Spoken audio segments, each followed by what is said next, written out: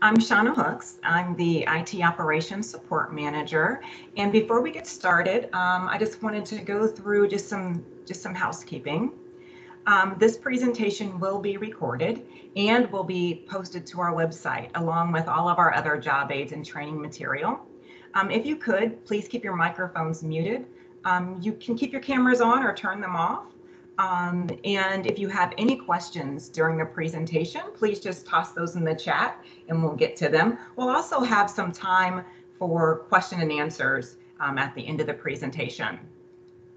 This really is going to be an informal uh, presentation. It really is just an overview of some of the basic changes that you may see. And we have a fairly small group, not too big. So please feel free to throw questions out there. If I don't go over something that you would like to see, uh, please let me know and we can jump in the system and take a look at it. But again, this is a pretty informal presentation, shouldn't last very long. And it really is just an overview of some of those small tweaks or changes that you may have noticed um, after the upgrade.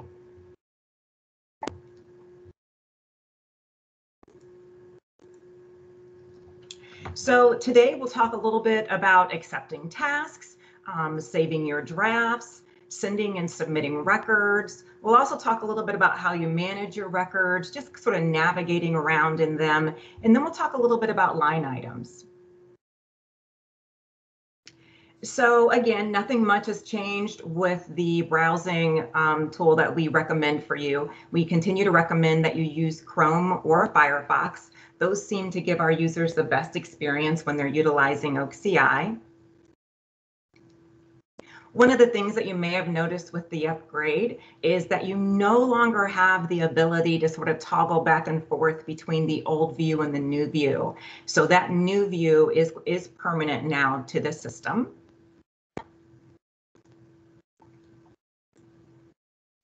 So let's talk a little bit about those basic record functions. What you'll notice now when accepting a new task that comes to you is in the old view, it used to be in that upper left-hand corner of your screen. And what you'll notice now is with the new view, it's now in the upper right-hand corner of your screen. So accepting the task used to be over here on that left side. Now you'll notice that it's up in the right-hand corner. Another change that you may have noticed is in the upper left-hand corner of your screen, you used to have the ability to hit that file button and you had a menu of options available to you. That file button is now available to you in the upper right-hand corner of your record and any permissions that you have available to you, you're gonna find in there. So if in that record you have the ability to add more assignees to the task, um, you'll see that. Um, if you need to carbon copy more users, you'll see that. Just any of those functions that you used to find in the upper left, you'll now find in the upper right within that hamburger. For those of you who like to print your records, you'll notice that that's also in that new hamburger. So prior to the, the upgrade, you could find it in, under File, under Print Preview. You'll now find it in that hamburger under Print, and you can either do that HTML PDF, or if you're someone who um, needs to create custom prints, you'll find it over there too. And please feel free to ask any questions that you may have.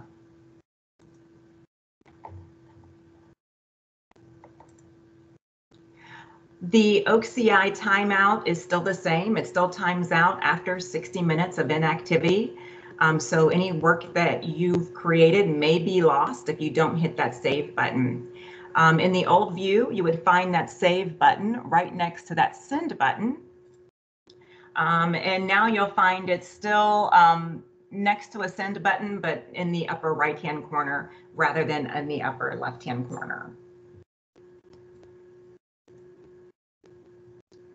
Let's talk a little bit about moving your record forward to the next step. So previously, you would choose your workflow action first, then you would come down to your action details, and if and if the two box wasn't already populated, you would populate the two box. It would tell you who it's going to and why it's going to them, and then you would click your send button in the upper um, corner of your screen. Now with the new view, you're actually going to click send first, then choose your workflow action. Um, and then you would have the ability to either, either populate who it goes to next, or you would see that it's already been pre-populated for you, and you will click that send button again. With non-workflow business processes, and those business processes would be things like prevailing wage, uh, certified payroll, a purchase order, a voucher, any record that doesn't go to an additional step, what you'll find is that um, in the upper left-hand corner where you would simply click finish editing, you would now go to the upper right-hand corner and click submit.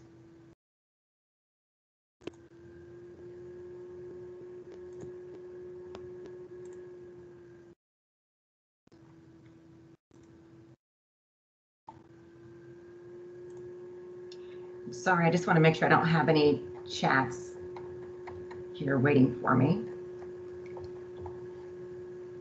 Okay.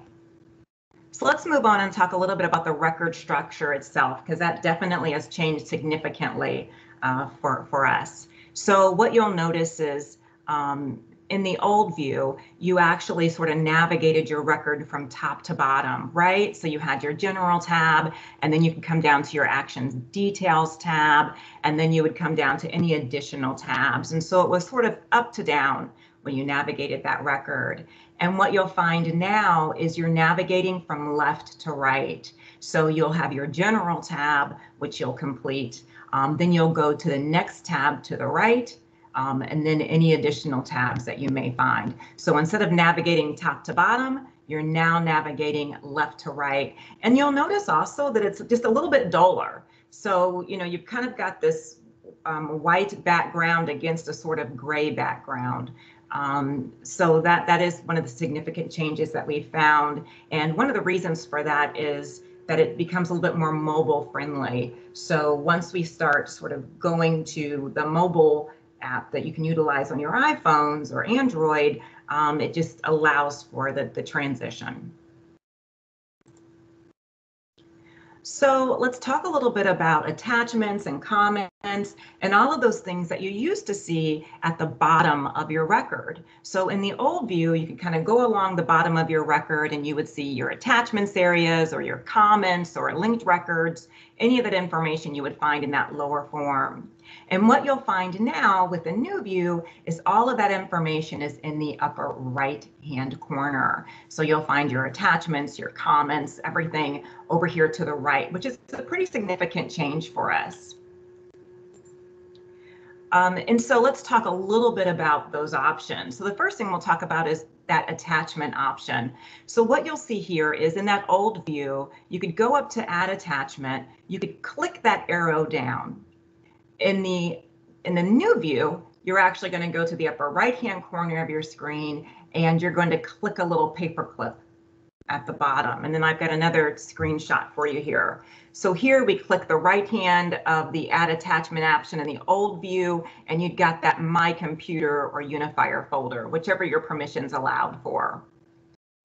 In the new view, when you click on that little paperclip, you're going to see um, browse, which takes you to your desktop, or document manager, which will take you to document manager. So a little bit of a change in the terms um, and a little bit of a change in, in where you're going to locate that. Now, once you've attached a document to a record and it goes to the next person in the workflow, what you used to see, that next person, they would see down in the bottom in the lower left-hand corner, they would see attachments and they would see a parentheses next to those attachments with the number of attachments that they would find. And then they would simply click on that attachments link to open up the attachments. In the new view, what you'll find is that you'll see a little paperclip sitting next to the attachments. That alerts you that you have attachments.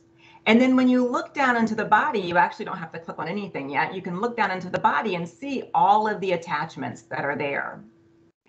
You can also click on the gear icon to the left of that attachment in order to view it or to download it or to do whatever else you may need to do with that attachment. So that definitely is a big difference between the old view and the new view. And some of you, um, if you were already practicing in the new view, may already be aware of it. So let's talk a little bit about general comments because this one is a big change. Um, so in the old view, you would come down to the bottom of the record and you would click general comments. You would then click add, you would add your comments, and then you would click OK. And then when it got to the next person in the workflow, they would know that there were general comments because there'd be a little talking head sitting there next to the general comments. In the new view, you would actually click on that general comments area. This area in here would open up for you. And here's the big change. In order to ensure that the next person in the workflow is going to see your comment, you actually have to uncheck hide. So in a lot of business processes, um, if the record allows the functionality for someone to hide the comment, the comment is going to be automatically hidden. So that means that off the bat, you're going to want to make sure that when you add that comment, that this box is unchecked. Once you've added your comment, you're going to click that post button and that will save the comment to the record. When the record gets to the next person in the workflow, they'll know that there's a comment because they'll see this little um, comment icon sitting next to the word comment. So that little comment icon took the place of those little sort of talking heads that you used to see that would alert you that there was a comment there. Now, if you get a record and you get a re record returned to you for clarification and you find that there's no comment there, um, one thing that can be done is it can be returned to the to the person who sent it to you and they can unhide the comment. So if you've hit if you accidentally you, you forgot to uncheck that box, you kept the box hidden, you moved it to the next person, the next person would actually need to return it back to the person who added the comment so that they can simply unhide the comment. It's very important to ensure that those comments are unhidden because once that record gets to the end step, in order to see any comments in the archives, you've got to make sure that that comment uh, area is unhidden. Any questions about that? I have a quick question on the hidden. Why is the default not to keep it? That's a really good question. Um, and we've actually spoken to Oracle about that. And their response to us was that if we enable the record to allow the comment to be hidden, it's going to automatically default to hide. And they're, they don't have a fix for us right now for that. That they consider that sort of an enhancement to the system. Okay, it just seemed uh, odd. If it's a functionality, it would just automatically be unhidden and you could select to hide it. I agree. I definitely agree. And we are working on that. Our goal is to get it to default to unhidden and then give you the option to hide it. And that's kind of the way it used to work for us. In the previous system, you actually had to purposely hide it. Um, and that's just not the way it works for us now. So we really want to make sure people um, are aware of this change. Any other questions about this? And please, again, this isn't a formal presentation. Um, it really is sort of interactive. So if you've got any questions, just let me know. And hiding, when would I, I've got a question here, when would hiding be a good idea? Um, sometimes if a record is sent for maybe a consultant response or um, you know something like that they want they want to add an additional annotation to the record but they don't necessarily want that information available to everyone um, they will they you can hide um, the comment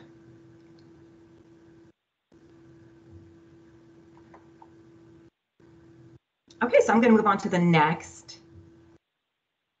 And please feel free to contact me or Matt um, after this presentation if you have any additional questions um, online. And then another response says, but then couldn't only they see it? That's correct. Um, it doesn't really I, I, don't even know how to really truly address that in a good way. It's it's it's not an it's not an awesome feature.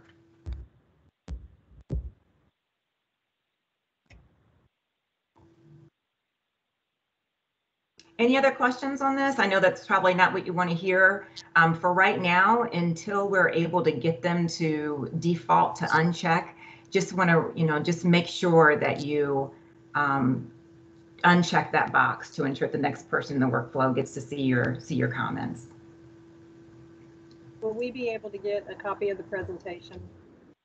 Oh yeah, definitely. So we're going to be posting this, we're recording this and we're going to be posting this to our website with all of our other training material. And we can also um, email it to you if you provide us your, your email address. And Matt, you'll, you'll have a link posted, right? I'm sorry, Matt's probably on mute, but we'll have a Yeah, link I- posted for you. I was about to uh, chat the link, the link out right now. Awesome, thank you. You.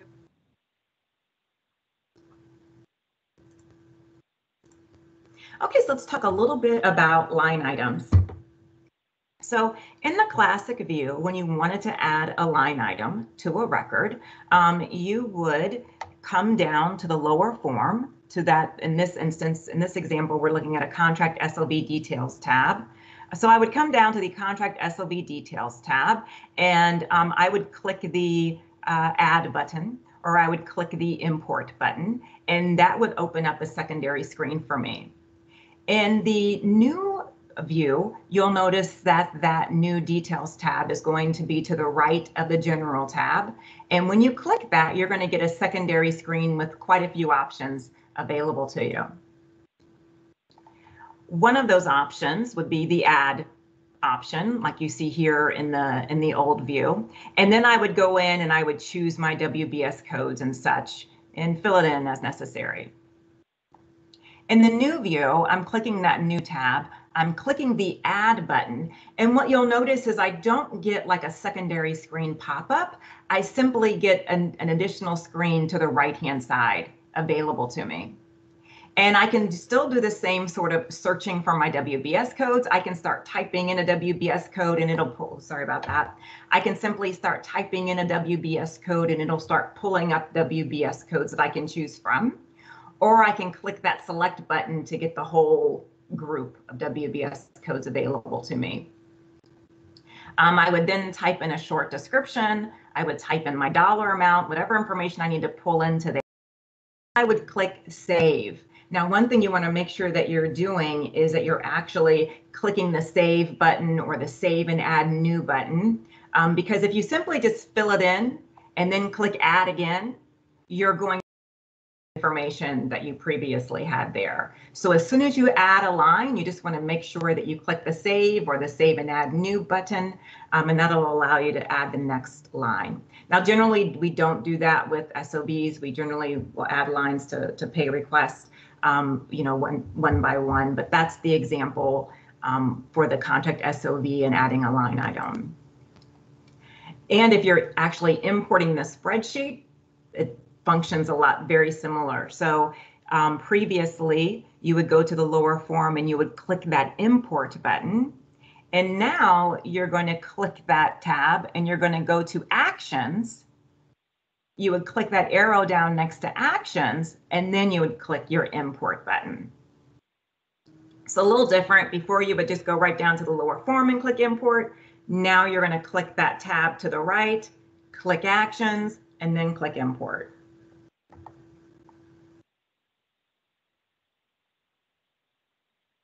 Okay, so I've got a question. When downloading the export line item template, it doesn't appear as if there is anywhere to pick up the file.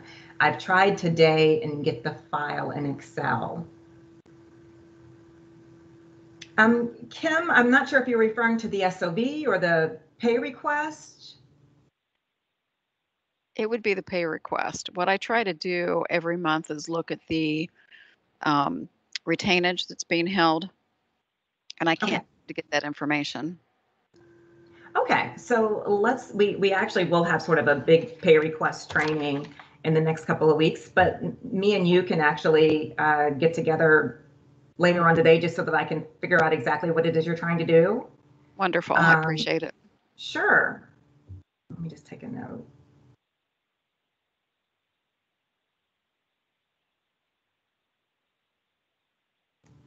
Hi, yes, Amy, you're correct. If you, if you hit save and try to type a new WBS code, it will change what you had previously, not add an additional WBS.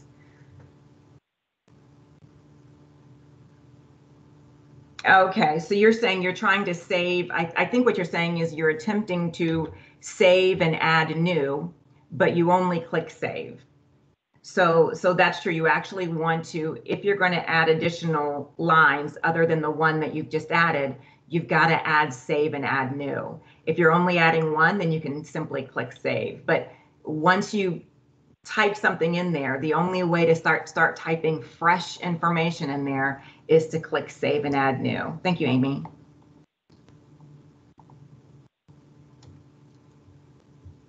Any other questions about this? Okay, awesome. Okay, so we'll talk a little bit about submittals. Submittals function about the same, but just look quite a bit different. So before you would fill out your upper form, you would click that submittals list and you would click add.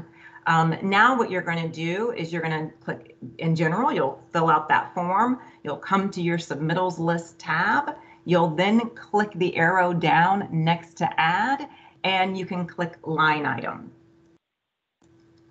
Once you do that, you're going to get a secondary screen. And before, in that secondary screen, you would have that add attachment option, and then you would choose from either My Computer Unifier folder based on your permissions. Now, what you'll get is that secondary screen. You'll click that arrow down next to the um, attachment button, and you'll select probably just Document Manager will be available to you. And this will allow you to attach documents much the same way you attached them previously. One thing that you want to make sure that you do with submittals and or design reviews is, and let me go back to one thing that we've found that people have done in the past with records, and I'm sorry, I'm backtracking a little bit, is rather than adding it in that tab, what they're doing is they're adding attachments in the comments area or in the attachments area over here. You actually want to ensure that when you're adding lines to say a submittal, that you're actually adding the lines or the attachments in that um, attachment area, in that second tab, not in the first tab.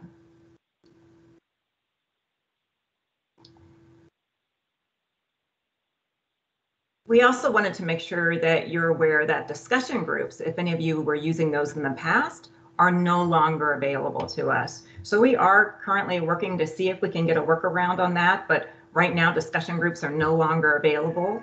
Um, adding task notes is no longer available. I'm not sure how many of you used to do that, but adding a task note allowed you to add a note to the record that could only be viewed by the next person in the workflow process. So once that next person accepted it, the task note would disappear.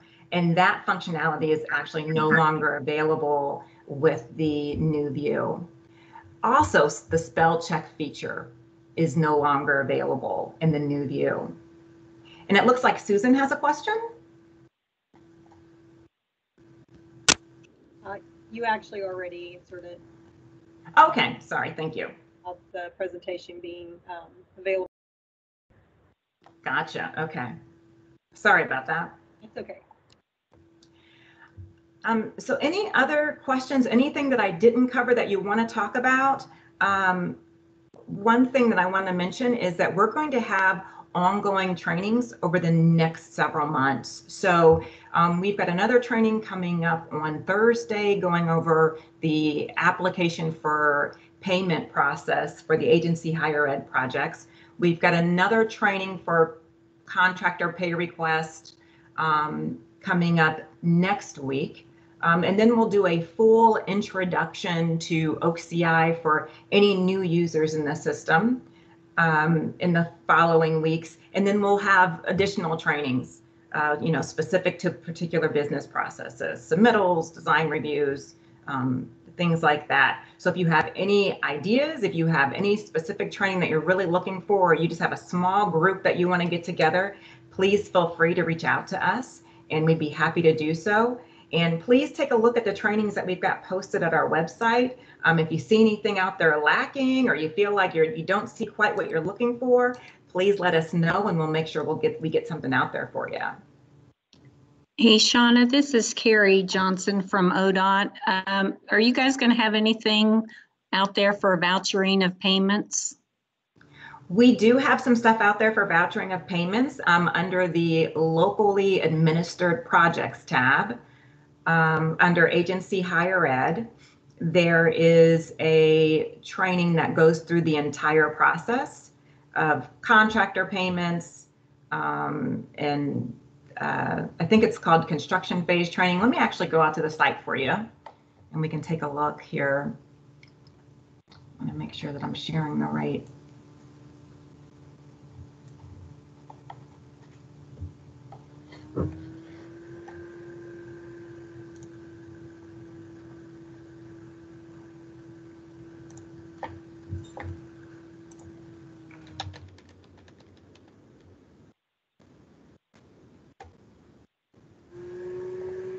Okay. Stop sharing that.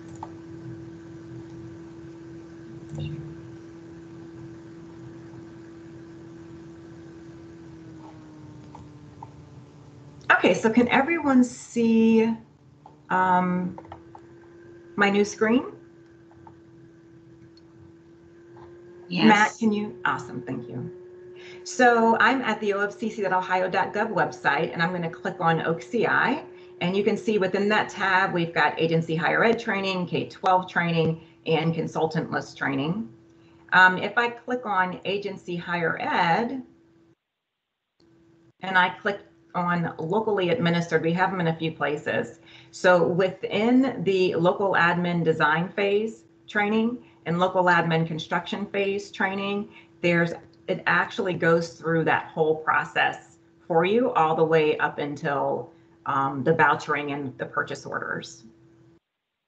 Um, we also have this training here, which is under um, OFCC staff, which is pretty much the same information. Um, create and apply purchase orders, record and apply uh, voucher.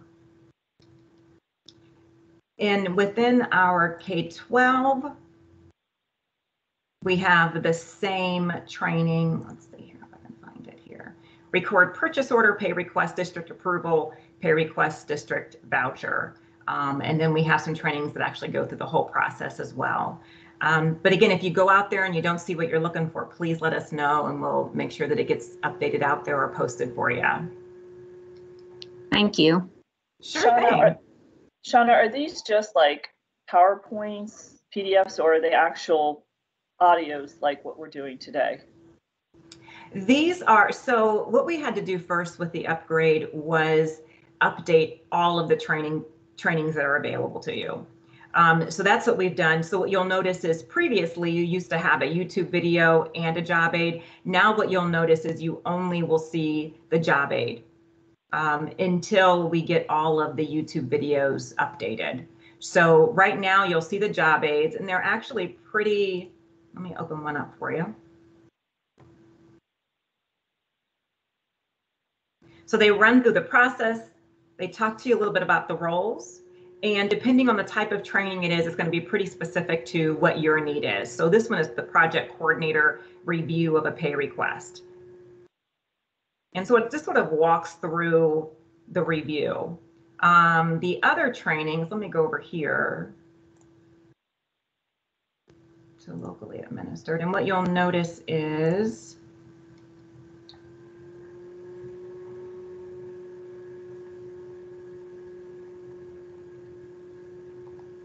all of these links are active. So the bigger trainings that you'll find, you'll actually have active links that will allow you to go directly to the information that you're looking for.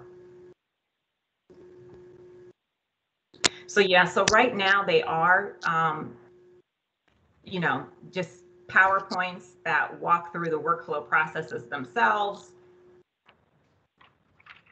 And then with links back to documents or, you know, any other additional information. Does that answer your question, Stacy? Yes, thank you. It's Sure. much easier to learn as you're showing us. Yeah, and, And my- so My district treasurers have even said that it's, it's easier for these when you're on here and we can ask questions if we have them and stuff, if they're live or if, if it's even a video, you know, what you've taped and then we can go back and hear other people's questions. Those are much more helpful. But, definitely. and did you guys send out links to like all the school districts and everybody so that like invites to them, actual invites? The, the invites went out to all users in OCI. So probably about close to 5,000 people. Okay, but it did it go as like a calendar invite or just an email where you have to put it on your Just an calendar yourself? You have to put it on your calendar yourself because we have outside users. Okay, Um, so it- it's just an, it's, it was an email invite with a link embedded so that if you click on the link, it'll take you to this training. okay. Thank you. Sure thing. And again, we'll be running through, so all of these training presentations that you see, um, we will be providing um, training just like this on, and we'll record it, and then we'll post it along with the job aids. To replace the old, the old YouTube videos that we, that we previously had. Any other questions?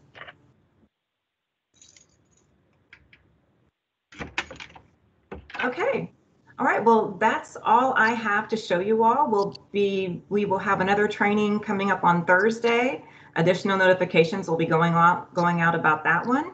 Um, we'll also have another training coming next Tuesday and um, throughout the month. So just kind of look out for a question, when will the, when will we be doing pay request training? We will be providing um, application for payment training on Thursday for agency higher ed um, users.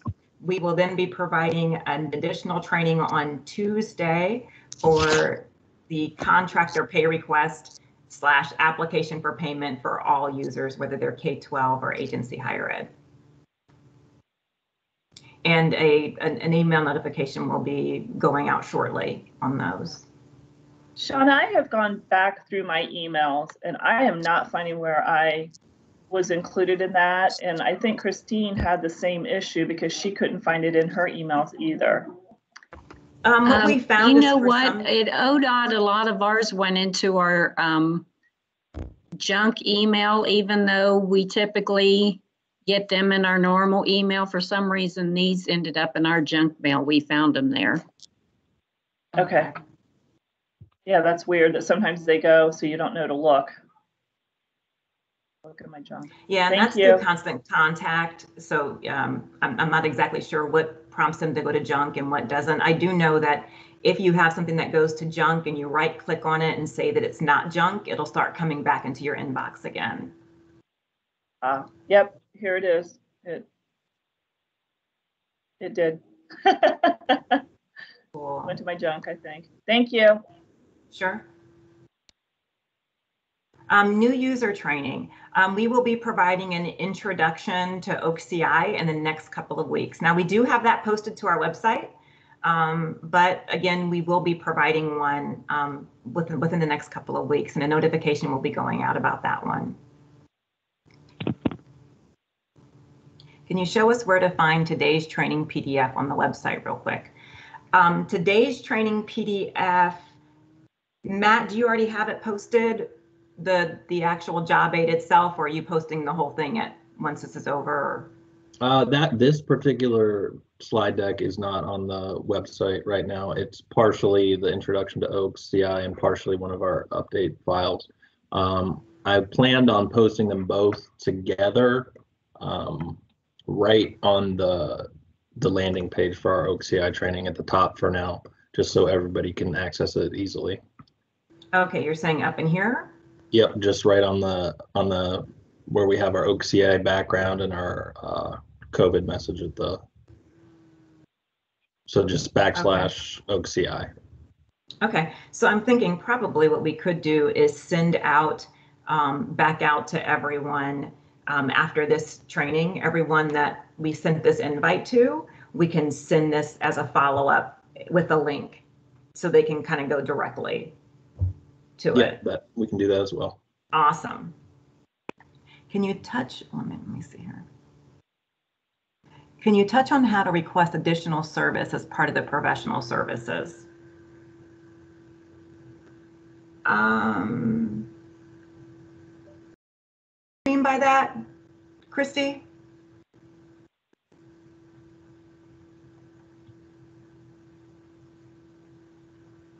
Okay. All right, maybe Christy's not here anymore. She added a. How to modify your current contract. Okay. Um, so in order to modify your current contract, if you have a professional services agreement, then you would create an amendment. So um, if I go into my agency higher ed training and I click um, user specific. I'm not sure which, if you're working with K-12 or agency higher ed.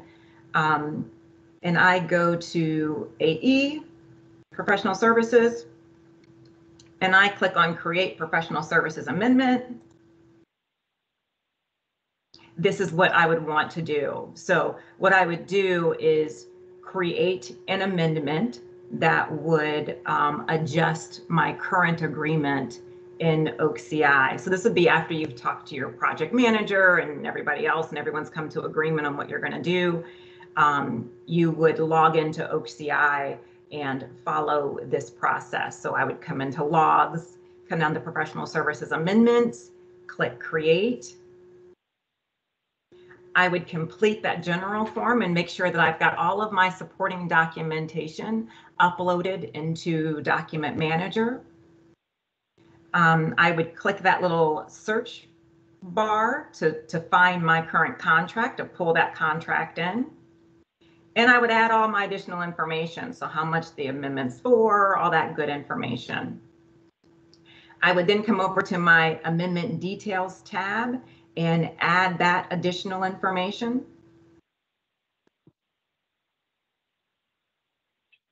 And within that tab, I'm going to click the add button and of course, add all of the amendment. Is, is that is that what you're asking me? Is just the step through of how to do it?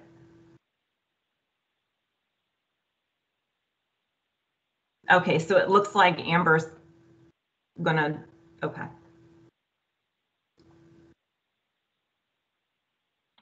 Any other questions?